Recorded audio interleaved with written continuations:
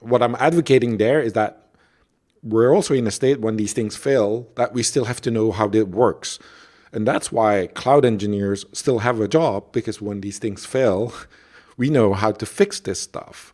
And maybe we have a better helper in that, but we understand what this is. This is DevOps Paradox, episode number 250. From Godfather of DevOps to Godfather of AI. Welcome to DevOps Paradox. This is a podcast about random stuff in which we, Darin and Viktor, pretend we know what we're talking about. Most of the time, we mask our ignorance by putting the word DevOps everywhere we can and mix it with random buzzwords like Kubernetes, serverless, CI CD, team productivity, islands of happiness, and other fancy expressions that make us sound like we know what we're doing. Occasionally, we invite guests who do know something, but we do not do that often since they might make us look incompetent. The truth is out there, and there is no way we are going to find it. P.S. It's Darin reading this text and feeling embarrassed that Viktor made me do it. Here are your hosts, Darin Pope and Viktor Farcic. Viktor, here we are at episode 250. Not only is it 250, if you're listening today, it's Valentine's Day, February 14th. So, Viktor, if I could, I would just reach through the screen and give you a big hug. Luckily for me, we're doing this remotely, so I'm safe. You are safe. And in case you heard that third laugh come in there, we have, like we do on all of our Divide by 50 episodes, we have Patrick Debois on with us again. Patrick, how are you doing? I'm good. I'm just gonna do the hard for you both, right? 250. Yeah. That's that's that's kind of amazing, right? It is amazing because I don't think we ever had a plan, but the plan didn't include 250. But yet here we are. So, in case you don't know who Patrick is, a little bit of backstory. He's considered to be the godfather of DevOps. That was 20 years ago now, Patrick? Something 15, like. 20, yeah. 15, like 20, right. Yeah. And of course, we've been saying all along that DevOps isn't a thing anymore. So that means everything that you did in the past, Patrick, means nothing. Who cares anyway, right? The past, the past. but now, he is the godfather of AI. Whoa, no, I'm not there. totally not there. Yet. Uncle. Okay, let's Uncle. redo this. Like, I'm totally there. I'm getting there. Let's say it like this.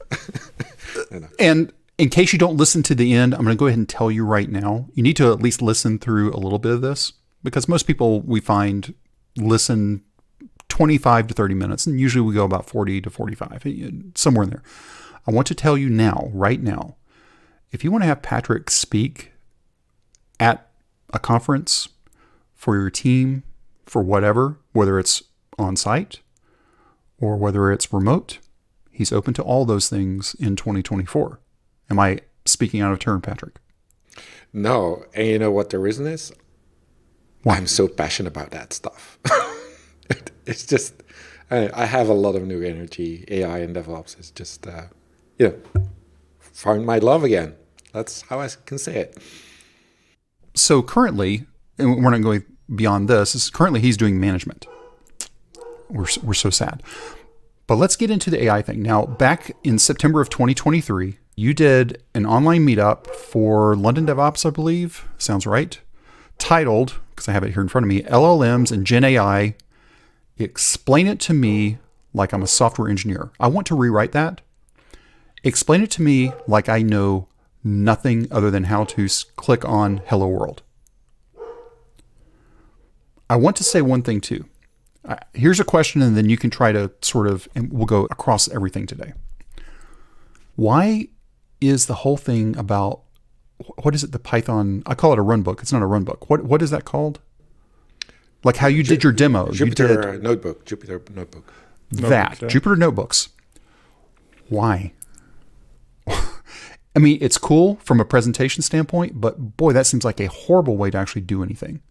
It's an interesting question. So that format has been there for a while, just in general, you know, kind of data science. And it's actually an interesting mixture between having documentation mixed with code.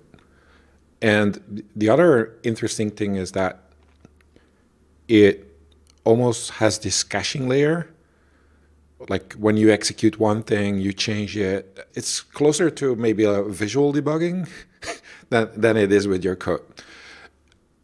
I personally use it to share things on how they're done, like the documentation. I use it also for exploratory stuff where I don't know really well and compiling and running things again all the time of the whole program doesn't really make sense.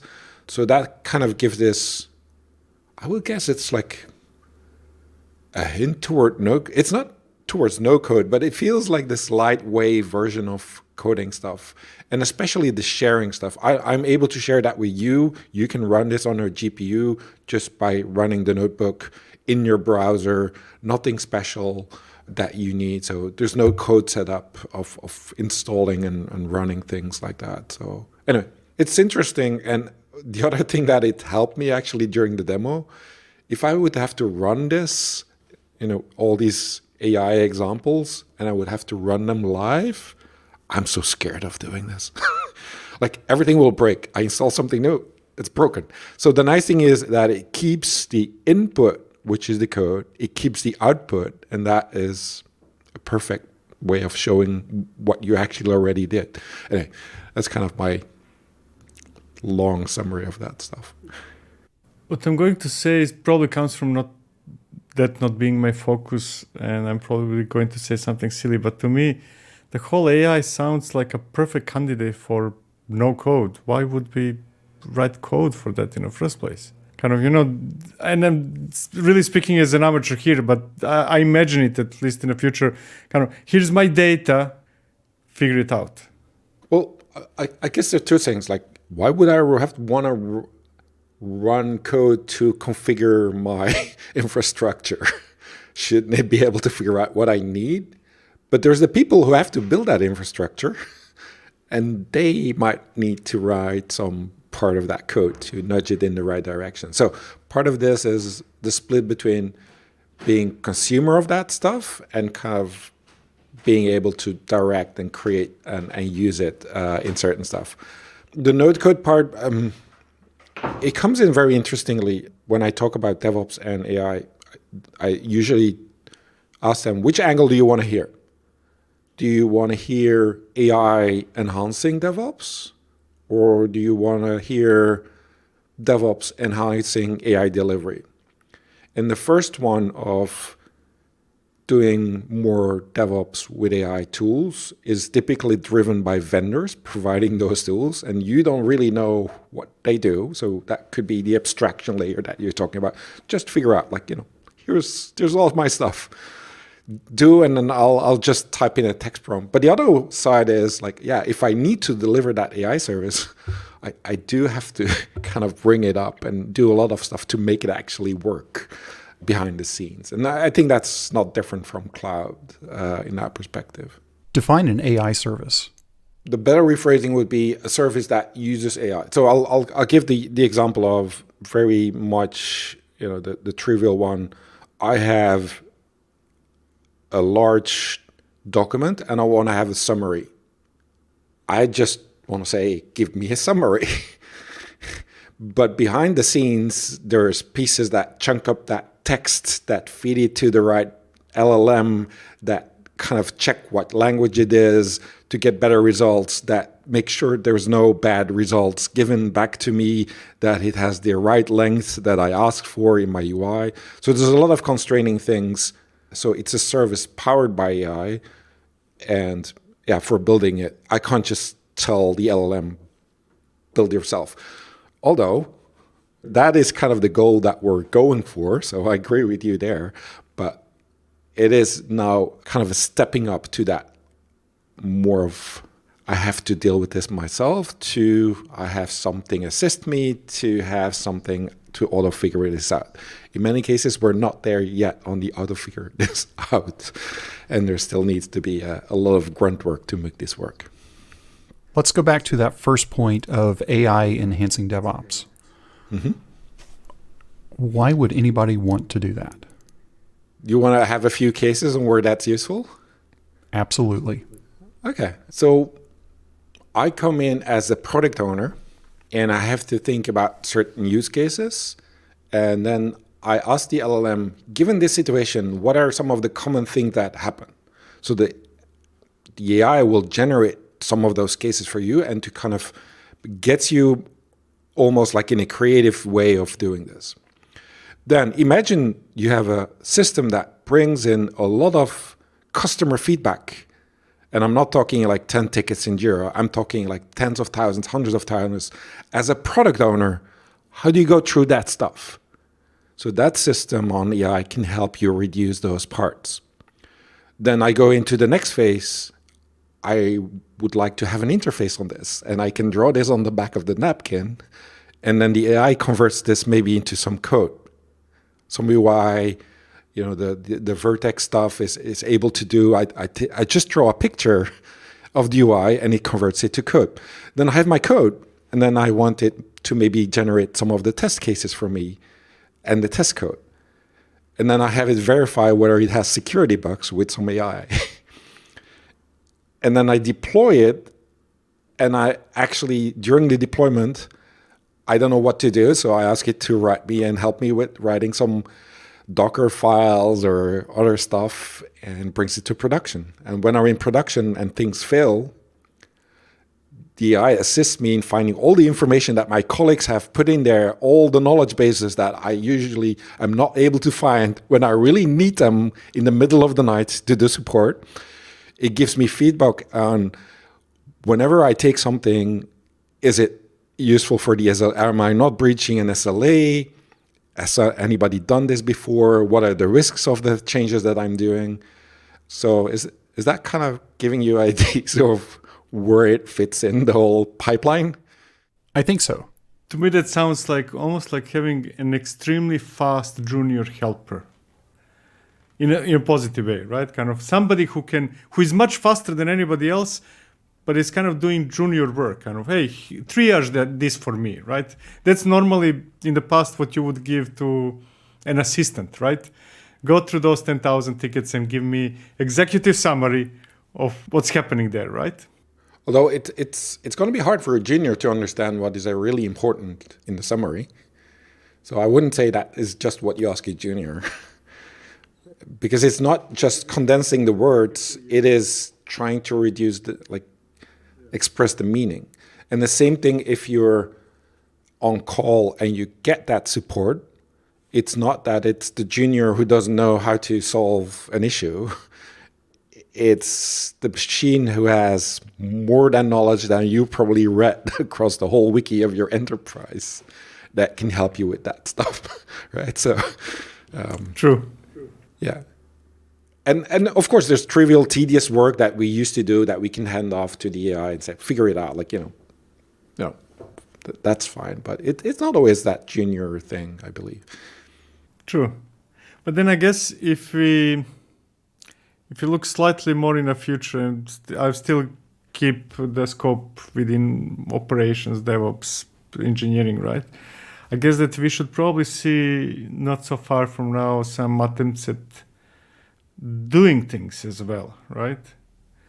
Like, you know, right now I need to define, okay, scale my application, number of replicas of my application, the number of requests reaches this and that, stuff like that, right? That sounds like a plausible example of something that AI could do, right? Kind of, I can sit there and actually do the scaling for you. I think that is what traditionally maybe is close to what we have been calling on AI ops. We look at trends on scaling, we do something with this, and we work on that. I think the difference now is is that um, AI would start doing uh, things like I'm going to contact um,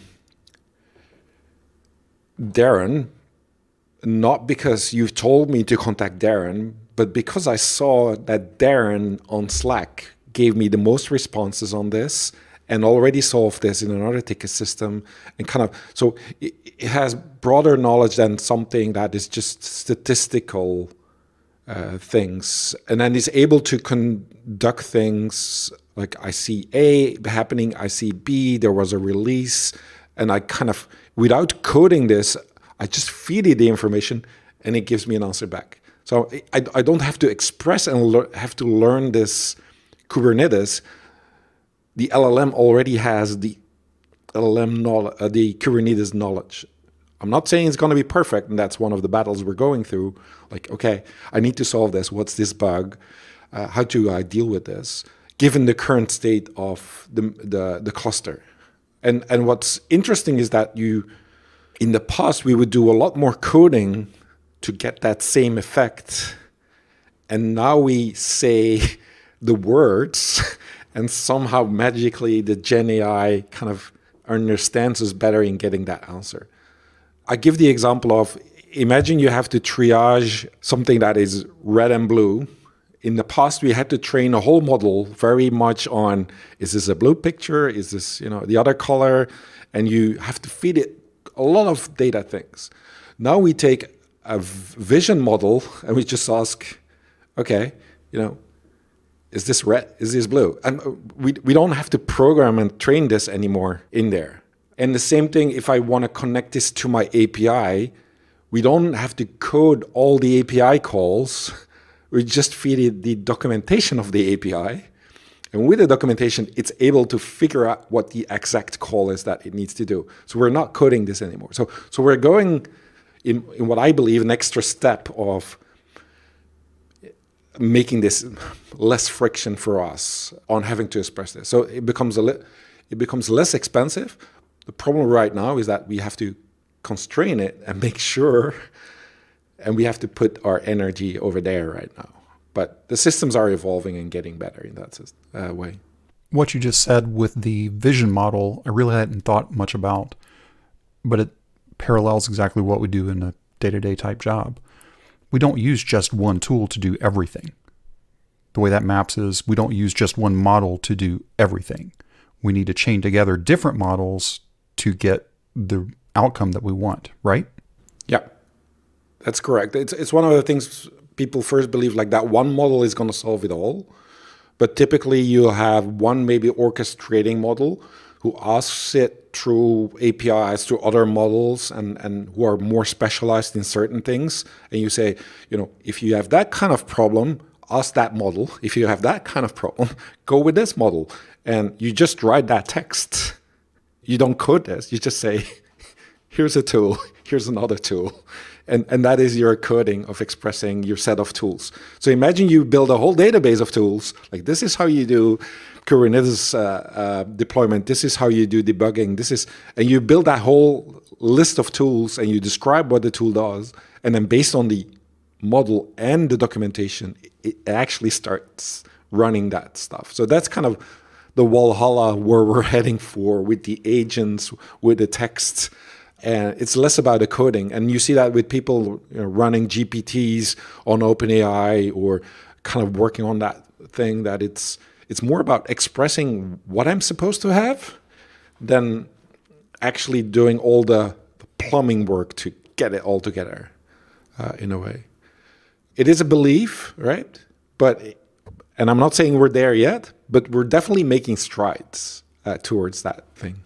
It almost feels feels like the similar to programming, like that some people get better results than others depending on how proficient they are at writing those prompts. I mean, I, have seen things done in Midjourney, and then when I go to Midjourney and try to do something cool, it's not even close. Right? And I'm using the same engine, I'm using the same AI, and I'm still not getting similar results. Yeah. Inter- interestingly enough, I, I spent one of the, uh, the, the last weeks a lot on image generation. And I can tell you, I had the same thing. Like, I'm not I don't know what to type in that prompt and I don't know exact how it works. But what I found out is the prompt and the text is one way of putting it in there. Imagine I want to have somebody do the silly walk, right? Then I take the video of that silly walk, I convert that to with a model to OpenPose, which is kind of just translates it to the arms and the legs moving and the head and the eyes. And then I take that to influence the stable diffusion or Midjourney generation. So I'm using another assistant to do that. The same thing is if I have a Midjourney, I'm not generating the perfect legs or arms or face. I use another face detailer or leg corrector to to bring that in. So we use you see this in in many ways that the one thing will not cut it, but if you start all assembling these things together, and the same thing is happening in let's say in the support agent.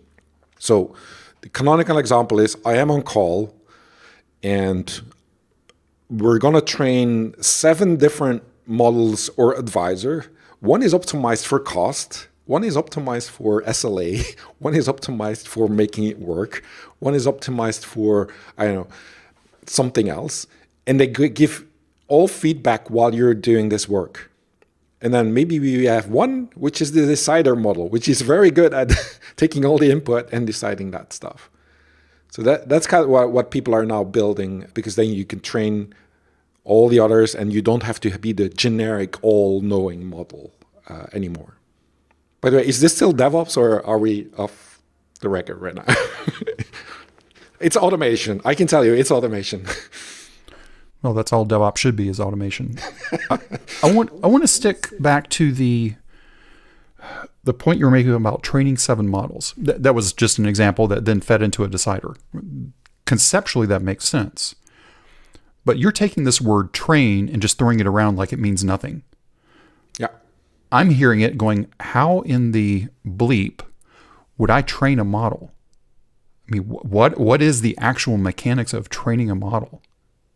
I'm, I'm first going to take the LLM, right? So, LLM would take a big company uh, like OpenAI, Microsoft, uh, an infrastructure as we can never pay, or a company, you know, even a big company will never be able to pay. And they build that model, they, they script the internet, they put it all, it costs enormous amount of money right? But then what you see happening is, for example, Facebook released another model, uh, Llama, and you're able to reduce that in size through some optimization that you don't have to have all the neurons in, in the network.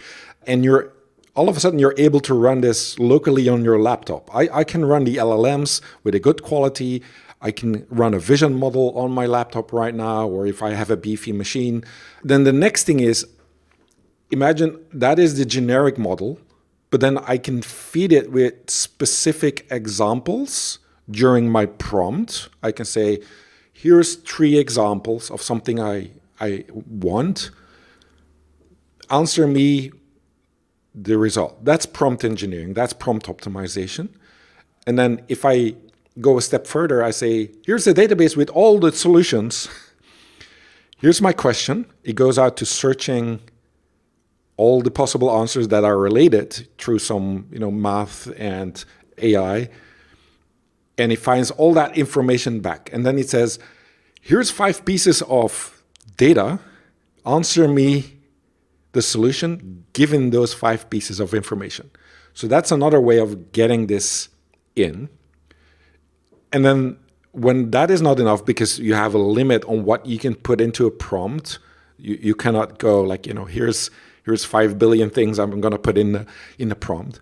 Then what you can do is, and I call it like, you have that model file, maybe you reduce it in size, and then you can patch it.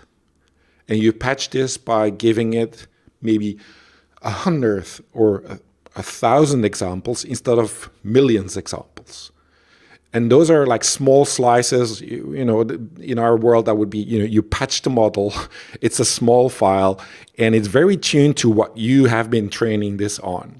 So there are special models who are better even at being fine-tuned in the end. But you can say the same thing with an image. Midjourney is very broad but if I want to tune this on on my face, I give it 500 examples or, or even 50 or 10, and it creates that patch on the model, and I have something that will reproduce my face, God forbid, but it would be able to do that on a, a regular computer without any problem. Is that something that is happening in public services already, or or you still need to run your own models. Are there services where I can say, hey, here are my faces, your example, right? To Midjourney or something like that. No. Yeah, there's runway. There's um, there's every day. There's new services coming out. you can't keep track of that stuff. Uh, I, I have never seen, let's say, an, um, a technology revolution being so fast at saucifying itself. like it's like instantly everybody has that in the service. Uh, so it's it's insane. Obviously, it's more than bring that service. It's about having a good UI. It's about having adopting of users. It's setting your pricing correct. But there's just definitely an explosion of that stuff happening. Uh, and everybody's scrambling and wants to be the first. Um, and that's another thing you see now. It, we're in a we're on a moment in time where there's the complete sprawl of we don't know which one is going to be the winner. We've had that before. you know, which winner is going to win the cloud, and all of a sudden one came out like, okay, this is going to be the de facto standard. We're still a long way away from that, or maybe not. Like maybe in a year it settles down. But now we have what I call an innovation tax that let's pick one. Seems good seems working, but tomorrow your competitor might be cheaper, better. I don't know, and then I have to swap it out.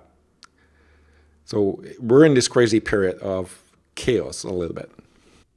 What does all that mean for us? Like, um, I'm including you in that group: software developers, engineers.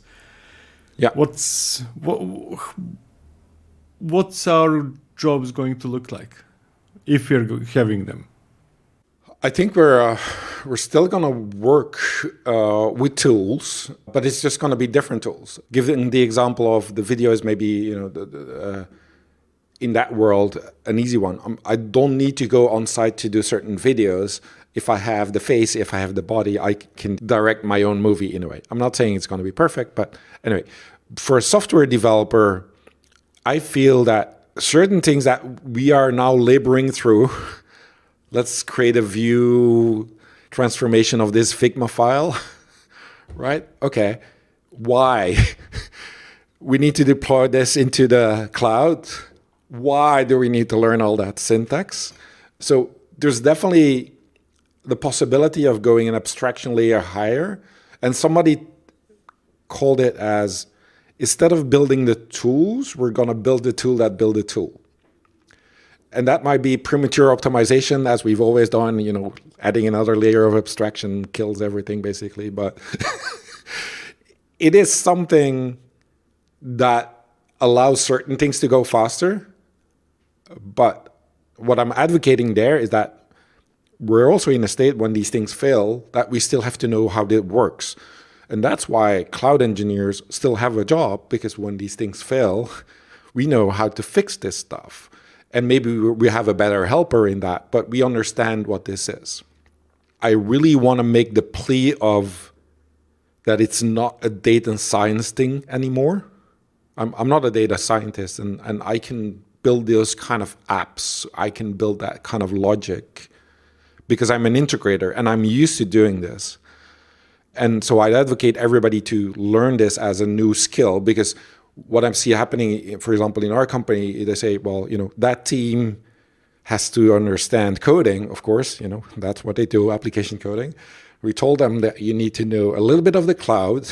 We told them you have to know a little bit of mobile. And now we are saying you need to know a little bit of AI integration and pick the right service and get that integrated in whatever code you're writing instead of writing the code yourself. So that's kind of where I, I, think it's leading us. Now we're seeing it just the manifestation of oh, copy and paste from a copilot into your code. But what what if we could just say refactor on a code base? That's a different level, which is really hard for us to grasp sometimes.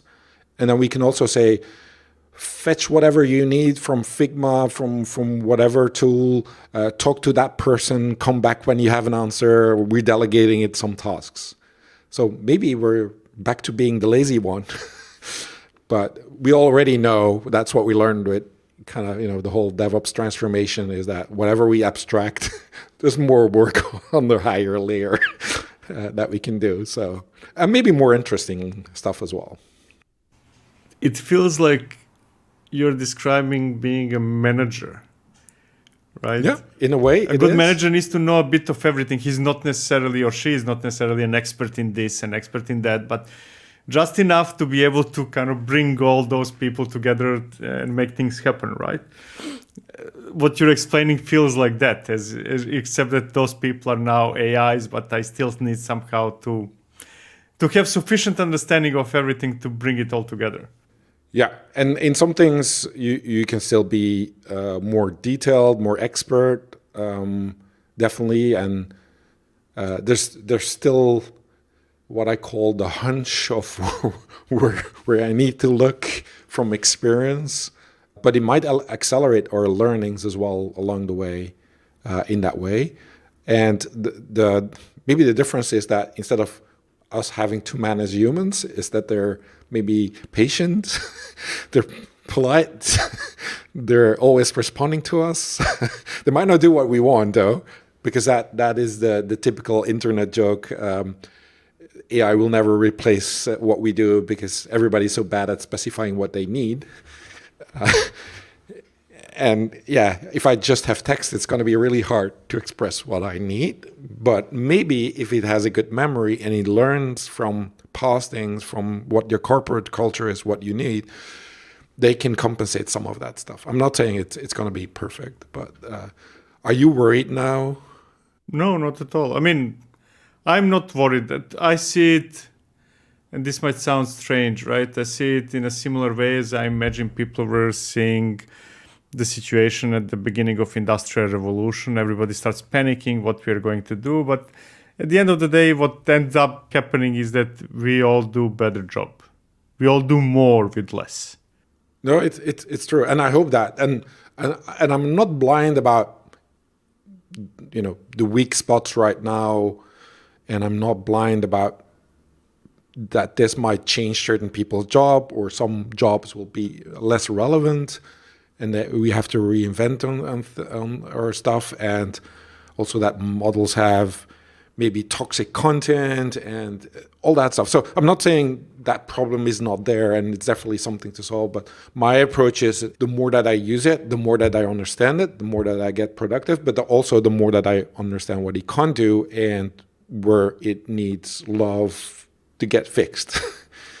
so I'm, I'm, I'm less uh, of like, okay, we're, we should not be using this. I'm, I'm trying to understand better to do also a better job at understanding the weaknesses of it. Well, I think one of the weaknesses that we always run into, going back to training, if I was to point it at any company's wiki that's existed for more than five years, that model is going to be so stinking confused because everything's going to be out of date is that one of the inherent weaknesses that you see as well, or is there? What, what are some of the other big ones that? I mean, to me, bad data, oh, garbage in, garbage out is what you're going to get, right? To me, that that sounds like what I'm going to say is probably wishful thinking. Uh, correct me, but to me, that sounds like actually the the other way around. It's perfect opportunity for having helper. I'm going to continue using that term. Sorry, kind of go and validate your docu- documentation against the co- uh, code that you have uh, currently running and the public information, this and that. Shouldn't AI be actually the example precisely that how your what you said, Darin, uh, could be improved? Because humans are not going to go through all the documentation to update it, right? That's not going to happen, but the machine might.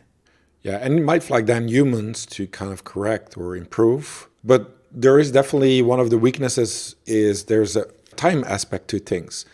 When you use language to express things, certain things get different meanings over time. I once were worked with a, a company who had like video archive and they had manual tagging of the taxonomy in the keywords. And imagine the taxonomy of saying it's a big TV being one of the words. It, it changes over time, right? what is a big TV?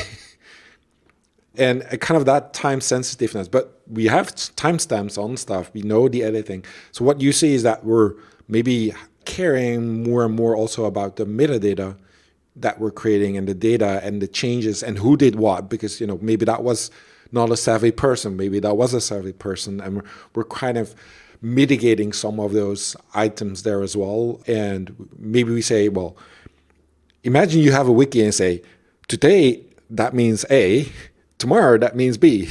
Rewrite my wiki. we would never be able to do that as a human.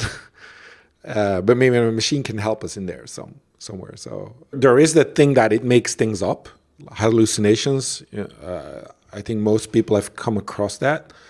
There's also ways of kind of tackling this. Uh, sometimes you just have to ask the LLM, "Are you sure?" and then it, it just says like, "No, I'm, I, maybe I, I do something else." You can ask it three times. You know, we learned you just have redundancy.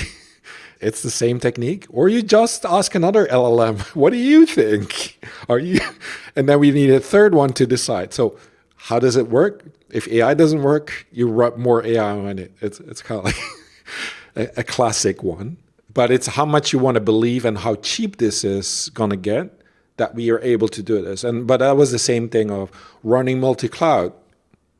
You know, blew people's mind many years ago. Now it's like, okay, it's still hard. I'm not saying it's easy, but some people are definitely doing that because there's there's benefit versus the cost that we're doing that. Anyway, I'm, I get excited, and I again, I don't want to be blind for the things not working, and uh, it, some stuff is definitely experimental, but it is fascinating. So my problem is that I have the mixed feelings it, for it right now at this moment. That will change in the future. Is that I'm very excited.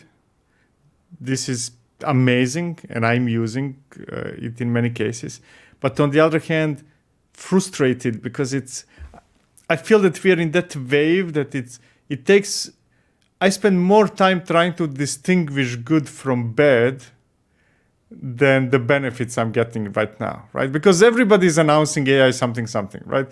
Whatever you're using, whatever you're doing in your professional life, there are 57 vendors that are selling you the life changing AI for that something, right?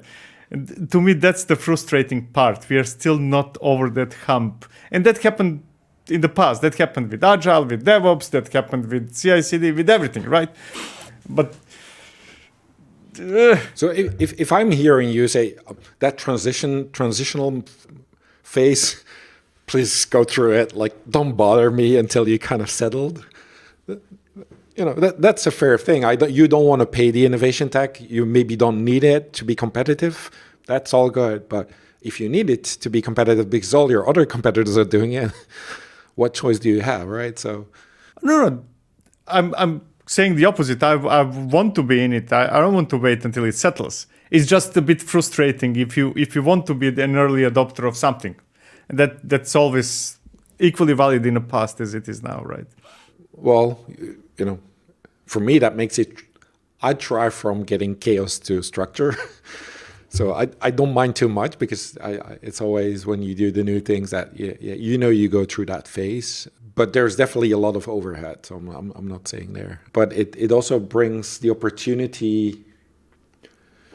Sometimes it's it's the example of you say if somebody has to write a hello world these days, they don't need to know assembler, they don't need to know all that stuff. So they've skipped the intermediate layers. But again, when it doesn't work, what can they do? They can reboot the computer. So for me, this is also part of the learning process that I'll be able to help better if I, even though there is an overhead, to understand the transitional phase. Like, oh yeah, because we did this, because of that, because of that, that we had a problem, and that has helped me many times in adopting something new and then dealing with it when it fails. Uh, Let's go back to your learning process to where you're at now in February of 2024. When did you start going down this awful path? Um, let's let's say on um, there were a lot of things leading up to this. The thing that probably led me most is that I was bored of DevOps. the second thing was that I was looking for new and interesting things to do. I I went from going through the metaverse and then game engines like you know i mentioned on the podcast virtual humans because during covid i wanted to clone myself and i didn't like to do presentations on stuff but i was still very elaborate because I had to scan myself. I had to do all kind of you know programming to get this working and then more and more what took over is that like yeah to make myself as a human i, I just use an ai model to model my face and i don't have to do all the pixels. And, and then last year end of last year no one year ago uh, the, there was the whole stable diffusion video took off and then text right? So that's how i leapt into this. And the text part was definitely powerful in the, the kind of problems we were yeah able to solve or the use case that it opened up to or the, the, the reduction of cost that we were able to do that so that's how i rolled into this but funny enough maybe like 25 years ago or even 30 years ago i did like text analysis through natural language processing and did that stuff. I worked together with uh, the video archiving to detect scene changes in videos and face recognition. But I, I, I didn't know any of the technology because I was no I did not have enough math and I did not have, have enough science rigor. But now I feel that we're up to the phase that it's like integration. and that's what I've done my whole life, and I'm pretty good at it, I think, and and that's what makes me thrive again uh, in that world there. Do you remember the first time you came upon the Jupyter Notebook process? I mean, how you decided to stick down that path? Well, the, the Jupyter Notebook is something that came from the ML ops world more there. I had a hunch that I wanted to go in machine learning, but again, like I said, AI ops, machine learning, uh, ML ops, it was all about those mathematical models and training and, and doing a whole of stuff. And it didn't feel like me. But again, that just came natural because most of the new AI coding languages is predominantly came from Python, and then Python has this link with people trying that stuff in Jupyter notebooks uh, in the machine learning. So that came from that world. So for me, the first time that was, you know, in anger was probably somewhere, um, yeah, maybe two months before I, I gave that presentation or something that I said like, oh, I, I just want to learn. It seems like a good thing to learn uh, in this world. I, I, for example, I, have never coded Python, so that was another thing I, I, I skipped somehow in my career, and then I said like, okay, let's me let me finally learn Python. So let me ask this question because we haven't asked it yet. And you just sort of went down that path. Give us your definition of ML versus AI. Um, I think the difference, well, I would say it's probably the difference between machine learning and the Gen AI, right? I'm, I'm, not talking about the whole AI thing. It's it's like the LLMs and generative AI, stable diffusion, and those kind of models. I, I think the difference is that before you need to have a data scientist and a lot of training to get that model working. And yes, you could download stuff, but it, it was more for specific cases that you were training. It, it, it's like it felt a lot more to statistical things. And now with Gen AI, it feels like it's in the word. It generates stuff without me having to train or code or do something weird with this for me that that yeah it's it's a really shitty definition i agree but I, i'm pretty known for shitty definitions so i understand that when we use gen ai models like gpt or whatever somebody is using right uh, a lot of time and effort was put into creating those models but once they're created are they updating themselves with user prompts or they're some kind of a static thing. So whenever I go to Bard, let's say, or uh, ChatGPT and type something, does that enhance the, the model at the same time? No, not automatically. So the model is typically, uh, think of it as a binary that you get. It's like a full binary. But if they want to incorporate all the things that people have been chatting or learning, then they'll have to retrain either the complete model or as I mentioned, they take this and they patch the existing model with slices, and then it becomes that patch becomes like another binary file that you load on top of the other one. But if you just prompt the prompt and you typing something, it is just in the input output buffer. It's not changing the model in any automatic way. That sounds like almost lost opportunity. Let me give you another example. I have the generic LLM and I want to make it specific to my business. That could be one fine tuning, but then I want to make it specific to all my customers. So, do I build that patch for all my customers and then do I rebuild this every week, every month, every day, that patch layer? Or I stick to putting the knowledge things in the prompt. So that's that's that's something that people are trying to figure out like do I have to put things in the model in the patch or I do this in kind of a real time adding it in the prompt. What we've learned so far is that even when we train the model, the model might, if we train it to our own, it might hallucinate more because you're shifting the weights a little bit from the existing ones. So, what seems to be the most common thing that I've seen, at least, uh, is that you patch the model that gives you a better what they call structure in the answers and it knows a little bit better on what you're expecting. But you're still feeding this in real time with the information that you've found.